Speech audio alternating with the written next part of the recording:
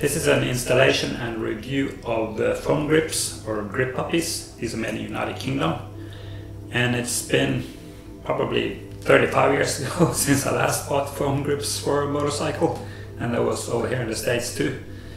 So I'll install them on the Tenere 700 and I'll see how they work. If they're more comfortable than regular grips, if you have less tingling in your hands after a couple hours of ride and whatever. So we'll see how it goes. The biggest difference between these grips and the one I bought uh, three dozen years ago is that the foam in these is way denser and it also has a thin layer at the inside of the foam grip that's more like a rubber. On this bike I have to remove the handlebar guard and add a Hepco and Becker uh, tube guard in front of the original Yamaha guard.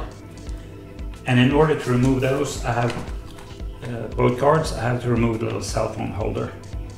And this is a lightly modified uh, cell phone holder. It's probably the best cell phone holder I used. It holds the phone very, very securely. And I've been riding in some pretty rough areas and it does not fall out. Um, I modified this holder and I modified the bracket on the rally bracket underneath. And the next step is to loosen or to remove this Hepco and Becker guard. And this is not the original fastenings. They had some pretty very low grade quality bolts and they had a very hideous looking system so I had to modify it too. Uh, it's a bad habit I have, uh, like modifying stuff. These are stainless steel bolts that can take the torque that's specified in the book. And this is also a modified. I changed the bolt from what was in the Hepco and Becker set because it was not the best.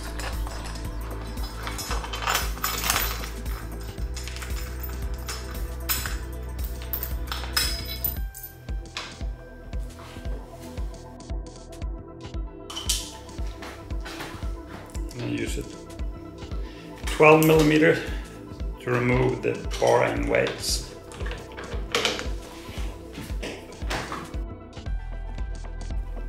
There are multiple ways to skin this cat. It has to minimize the friction between the existing grips and the foam grips. I'm using zip ties about 24-25 spread evenly around the existing grip.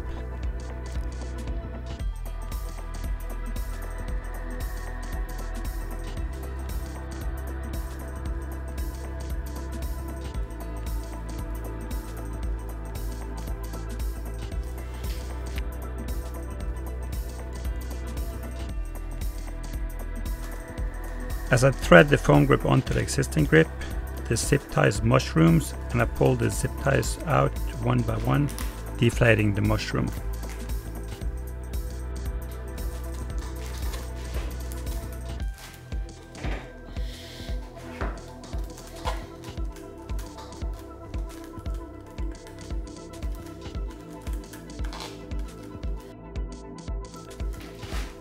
When the grip is about halfway, the foam grip can be twisted further in and the mushroom again deflated.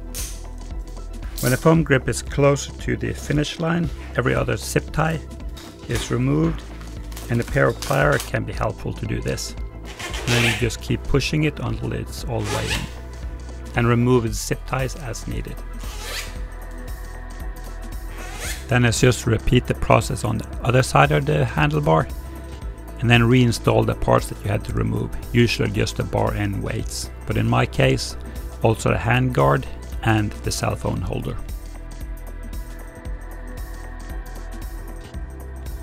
I've been riding with the foam grips for a little while now and they do really help on to minimize vibrations but also if you have long fingers I use a glove size XL then they really help because you have about a half an inch larger diameter on your on your grips.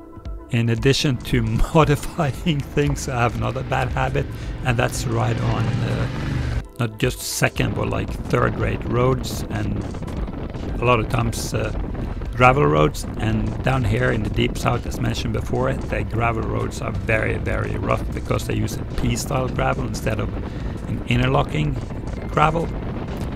And that was the main reason I bought the grip puppies, was to try to alleviate some of the stress on the hands after long rides on those gravel roads. They help a little bit, but not as much as I hoped. The other benefit was, as mentioned before, was the uh, difference in size, roughly half an inch bigger diameter, and that's kind of nice.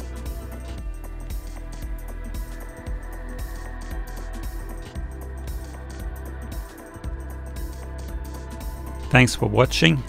Have a good ride. Please subscribe. More videos to follow.